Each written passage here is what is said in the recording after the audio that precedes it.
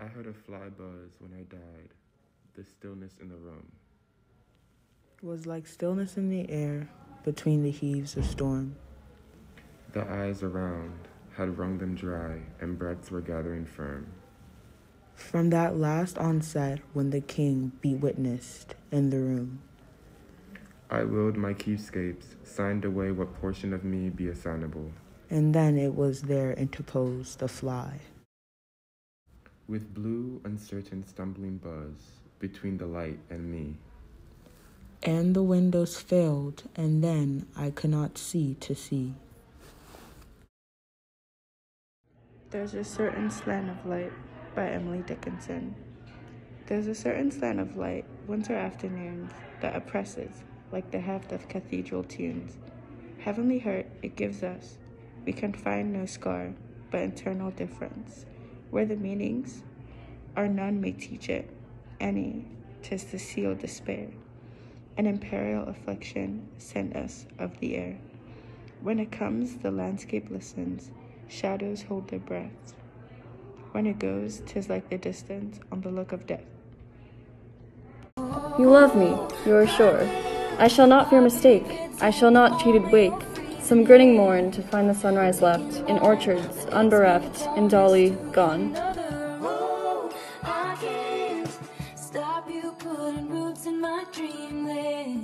My house stone, ivy grows, and now I'm covered. I heard a fly buzz. The eyes around had wrung them dry, and the breaths were gathering firm. For that last onset when the king be witnessed in the room, I willed my keepsakes when I died. Water is taught by thirst, land by the oceans past, transport by throe, peace by its battles told, love by memorial mold, birds by the snow. So I chose They Shut Me Up in Prose to annotate, and um, this is what I think it means. They shut me up in prose. So in the first line, I noticed that um, it was in first person. So I think Dickinson is talking about herself, and um, prose is like ordinary language, so it kind it kind of is um, the opposite of what Dickinson does, because she's a poet, and usually poetry is not in prose. So it's kind of like um, she feels trapped by um, prose, and it could also represent societal conventions. As when a little girl, so when Dickinson grew up, um, they put me in the closet. So she, as she was growing up, she felt really trapped because um, it was like other people tried to silence her. And the closet is kind of a dark and scary place. So I don't think it was um, good for her creative mind. And um, because they liked me still. So this further emphasizes how um, repressive and how her childhood was full of people trying to contain her. Um, also, for the girl, it's like capitalized, and I feel like all the nouns are capitalized. So, but I felt like um, it emphasized girl to emphasize like the gender roles and how um, girls growing up have more difficulties than um, than boys because um, female poets face more um, criticism. Still, could themselves have peeped. So um, she's saying if they had tried to understand her and seen my brain go round and tried to look inside her brain, like try to understand her, understand her creativity and the way she thinks, they might as wise have lodged a bird. So here she compares herself to a bird, and she's saying that she's a bird who needs to be free, and but then she's trapped for treason in the pound. So she's saying that she's a bird who is trapped in the pound and she cannot express her creativity.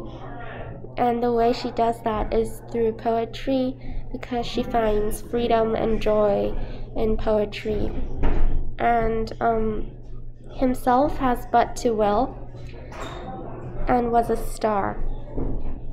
So I feel like she's saying you only need to have the will to escape, um, escape, um, to um, the containment, and then um, she says there was a star. So it's kind of like an omniscient, all-knowing figure, like God looking down at her, looked down upon captivity so again, she's saying that she's trapped and laugh no more have I.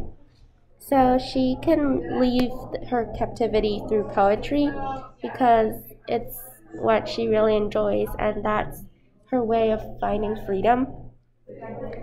And um, I noticed that only like round and pound rhymed in the whole poem, and it's really not uniform.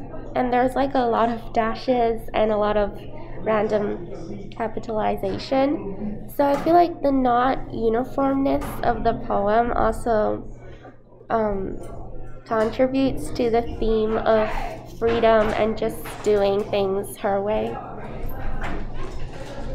A noiseless patient spider, I marked where the little promontory it stood isolated, marked how to explore the vacant, vast surrounding.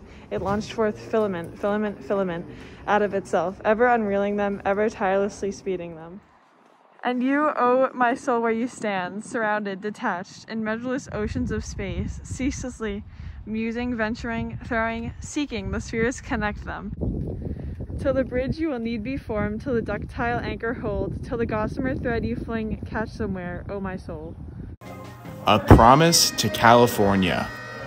Or inland to the great pastoral plains, and on to Puget Sound and Oregon. Sojourning east a while longer, soon I travel toward you, to remain, to teach robust American love. For I know very well that I and robust love belong among you, inland and along the western sea. For these states tend inland and toward the western sea, and I will also.